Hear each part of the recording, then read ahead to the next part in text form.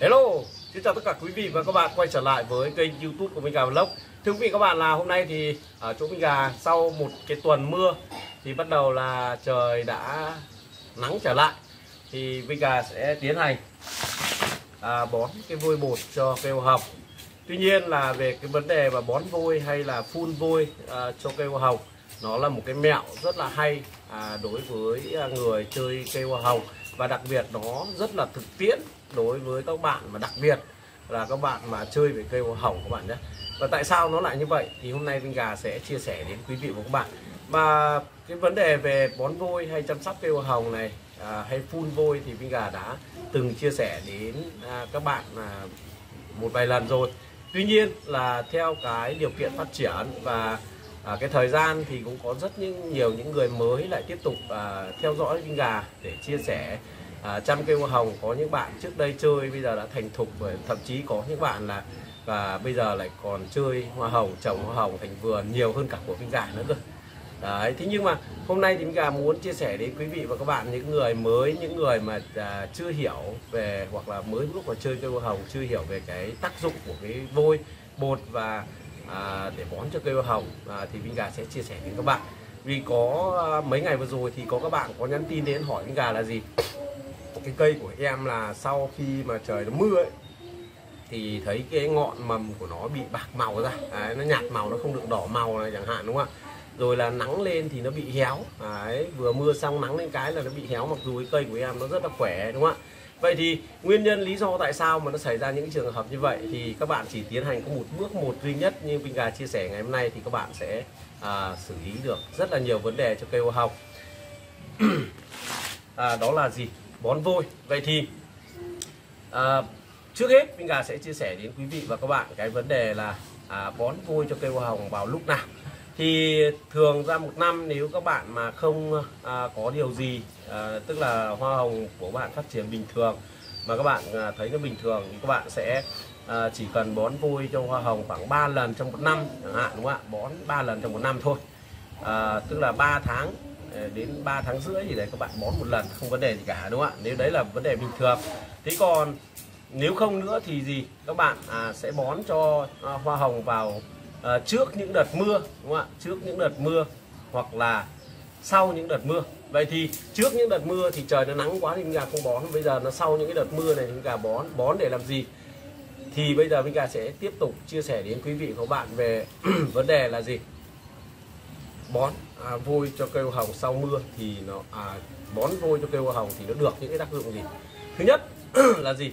Vôi bột là nó à, có thể có tác dụng nó có tác dụng là gì?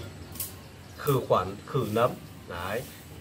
Thay vì thì có rất nhiều các bạn hỏi với gà là nếu mà bón như vậy thì nó diệt hết các thứ. Nhưng thật ra chúng ta bón với cái hàm lượng nhỏ như vậy thì nó chỉ có giải quyết được vấn đề nhẹ thôi. Còn nếu mà có nhiều bạn bảo diệt run xạ này kia nọ thì nó không diệt hết được các bạn nhé nhưng mà nó có tác dụng là khử nấm. Đấy, cung cấp uh, canxi.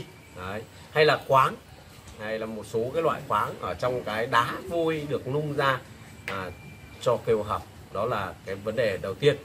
Cái thứ hai nữa là gì? Nó có tác dụng là khi các bạn bón phân đấy là cái tác dụng thứ nhất là nó khử khuẩn này đúng không ạ? Cung cấp cái khoáng chất à, canxi khoáng chất cho cây hoa hồng cái thứ hai là gì? Các bạn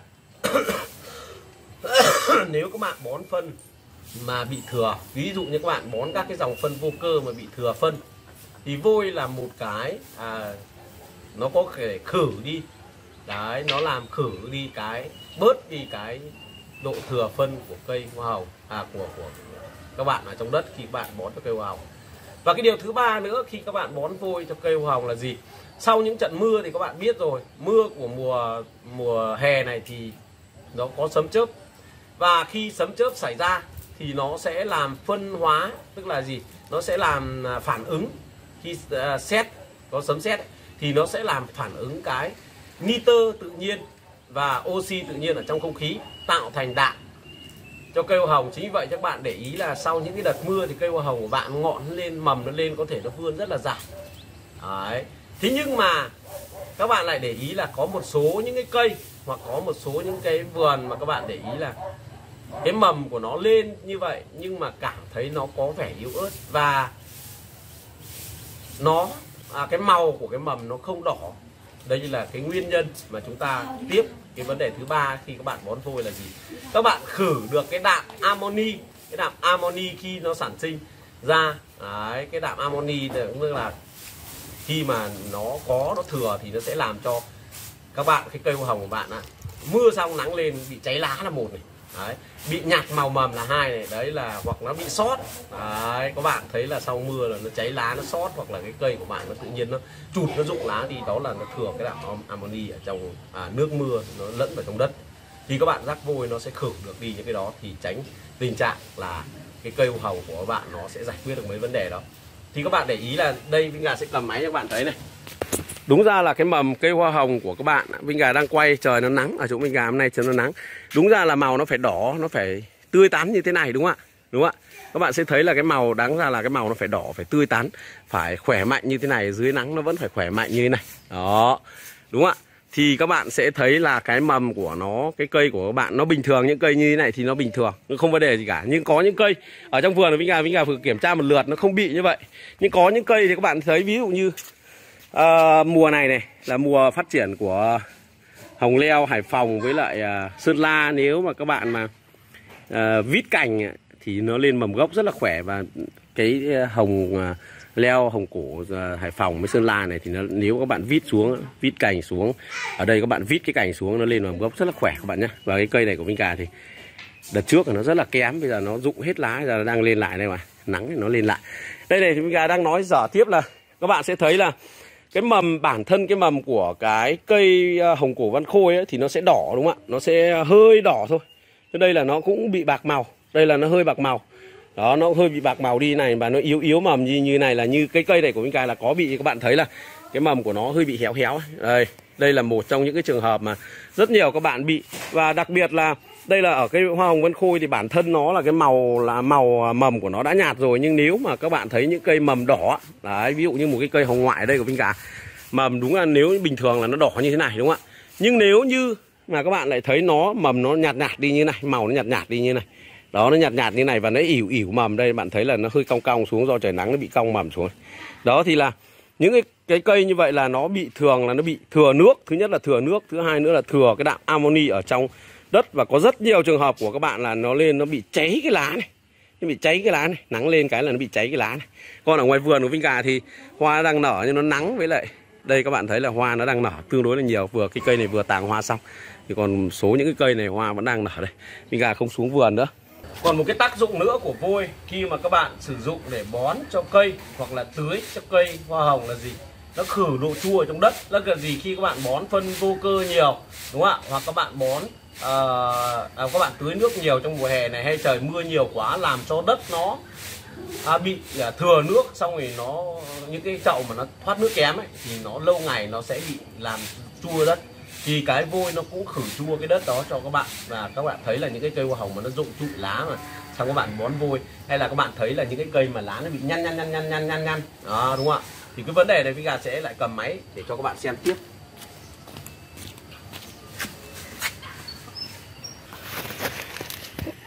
Cái vấn đề này ở trong vườn của Vinh Cá thì lần vừa rồi Vinh Cá vừa mới thay chậu à vừa thay chậu này thay đất hoặc bón phân này xử lý lại đất ấy, thì rất là khó à, tìm thấy. Nhưng Vinh Cá tìm thấy một cái ngọn này mặc dù cái ngọn khác của nó thì không vấn đề gì các bạn nhé. Đây cái ngọn khác của nó đây. Thì các bạn để ý là có rất nhiều các bạn sẽ thấy cái lá của các, của các bạn nó bị như thế này đây là trường hai, đây là một trong cái trường hợp mà có hai nguyên nhân. Một là nếu mà cây của bạn bị bọ trĩ, thì nó bị tình trạng y như thế này, và hoa của các bạn nở ra bị méo mó, và các bạn thấy là nó cứ thâm thâm về lá thì nhăn nhó như thế này. Đúng không ạ? Đó, thì một là nó bị bọ trĩ, hai là nó bị chua đất thì nó sẽ dẫn đến tình trạng như này. Thì những cái cây của bạn nếu không phải bị bọ trĩ mà bị chua đất thì các bạn bón vôi vào thì cái tình trạng này sẽ hết rồi các bạn này. Đó là một cái tình trạng mà rất nhiều người bị ở trong mùa hè và nếu bón vôi, nếu bón vôi, thì có mấy nguyên nhân như vậy, cái thời gian bón và cái nguyên nhân bón như vậy. Và nếu như các bạn bón thì các bạn sẽ phải bón như thế nào?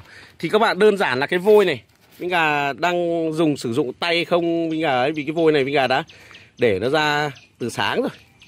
Thì nó đã, tức là các bạn thì nếu các bạn dùng thì các bạn nên là sử dụng găng tay thì tốt hơn. Như tay Vinh Gà thì tay nhà nông làm bốc đất bốc cát mãi nó quen quen rồi nên nhiều lúc làm cũng lười đeo găng tay với trời nóng. Mồ hôi nó ra rất là nhiều các bạn. Nếu đeo nữa thì nó sẽ ra rất là nhiều mồ hôi. Thì các bạn sử dụng cái loại vôi nào? Đây, thì bây giờ Vinh Gà sẽ cho các bạn thấy. Thì nó có mấy loại vôi? Các bạn có hỏi Vinh Gà là vôi bột, vôi vôi xây nhà. À được không? Đúng không? Thì Vinh Gà chỉ nói là tất cả các dòng vôi mà các bạn mua mà người ta nung từ đá nung vôi ra là các bạn sử dụng được các bạn nhé. Tất cả những cái dòng vôi mà các bạn nung từ đá nung vôi ra sử dụng được. Tuy nhiên bón cho cây mà tốt nhất thì các bạn sử dụng cái dòng vôi nâu. Vôi tức là nó hơi nâu nâu màu một tí nó không phải là dạng trắng tinh tình tình các bạn nhé. Trắng tinh tình tình thì người ta hay để làm gì? À, thứ nhất là vôi trắng tinh tình người ta hay là để xuất khẩu này đúng không ạ? Xong thì người ta sử dụng ăn trầu này rồi người ta sử dụng là gì? À, làm vôi uh, vôi vôi uh, quét tường ấy. Đấy là những cái vôi mà mà trắng tinh tình tình đúng không ạ? Thế còn các cái dòng vôi nâu các cái dòng vôi nâu thì người ta dùng để khử trùng chuồng trại này à, khử trùng ao à, hồ này. Đấy khử trùng vườn đấy. Thì chúng ta sử dụng tại sao gì? Trong những cái dòng mà mà vôi nâu á thì cái khoáng chất nó sẽ nhiều hơn các bạn nhé đấy thì cái này các bạn có thể lên tìm hiểu ở trên uh, các cái trang mạng. Các bạn sẽ hiểu là tại sao anh gà lại nói sử dụng cái vôi nó hơi nâu nâu một chút thì nó sẽ tốt hơn. Và nó sẽ có nhiều dinh dưỡng ở trong cái vôi hơn nó sẽ tốt hơn cho cây trồng. Thế còn bón nếu mà các bạn không mua được vôi nâu thì các bạn có sử dụng bất kể các loại nào trừ nguyễn là vôi à, được nung ra từ đá nung vôi là được các bạn nhá. rồi các bạn sẽ rắc lên trên mặt chậu như thế này đúng không ạ? Các bạn rắc lên trên mặt chậu như thế này cho anh cả đó các bạn sẽ rắc hết lên trên mặt chậu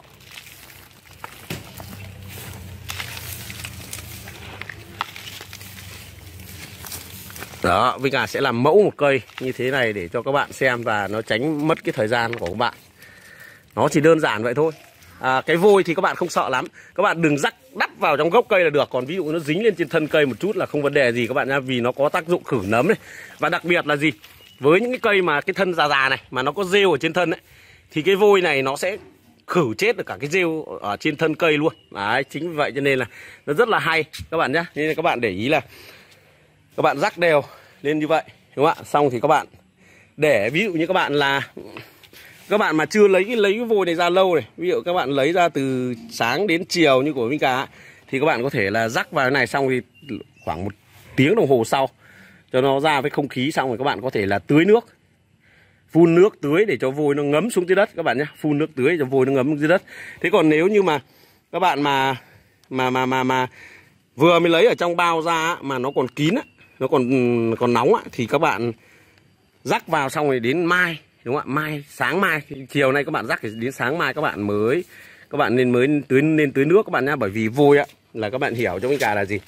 Khi mà vôi ở trong lò vôi ra, khi các bạn cho vào nước là nó sủi sôi lên, nó rất là nóng. Những người ở thôn quê ngày xưa mà các người, những các bác, các cô, chú lớn tuổi thì sẽ biết là vôi, tôi tôi vôi nó nóng cỡ nào. Đây, các bạn thấy là vôi nó nâu nâu như thế này. Đó, nó nâu nâu như thế là tốt nhất, các bạn nhé. Nếu các bạn sử dụng vôi cho cho cho cho cho cho bón cho cây mà thấy nó nâu nâu như này là nó tốt, rất là tốt này. Đó, nó nâu nâu vôi như vậy là rất là tốt. Cho nên là khi các bạn sử dụng thì đây là cái cách bón này, cách tưới thì mình cả nói như vậy cây hoa hồng như vậy. Trên đây thì Vinh gà vừa chia sẻ đến quý vị và các bạn một cái video vắn tắt lại là như thế này. Thứ nhất là tác dụng à, à thứ nhất là bón vôi à, cho cây hoa hồng vào khi nào và tại sao đúng không ạ? Rồi thì tiếp đến là cái công dụng của bón vôi thì nó có bốn cái công dụng như vậy thì các bạn có thể bón và cái cách bón thì mình gà chia sẻ với các bạn rồi. Mong là quý vị và các bạn những người mới chơi cây hoa hồng có thể là nắm bắt được và để uh, chăm sóc cho mình được những cây hoa hồng đẹp trong cái mùa hè này. Bây giờ mình gà xin phép được tạm dừng cái video ở đây. Quý vị và các bạn xem video mà cảm thấy nó hay và ý nghĩa thì đừng tiếc mình cảm nút like. Nếu bạn nào chưa đăng ký kênh thì nhớ là đăng ký kênh để ủng hộ cho mình gà và cũng đừng quên nhấn nút chuông ở bên cạnh để xem thêm nhiều những video mới từ mình gà và đốc nha các bạn. Xin chào tạm biệt và hẹn gặp lại quý vị và các bạn ờ, những video sắp tới của mình gà chúc quý vị và các bạn một ngày vui vẻ hạnh phúc và gặp nhiều may mắn cũng như là thành công trong công việc.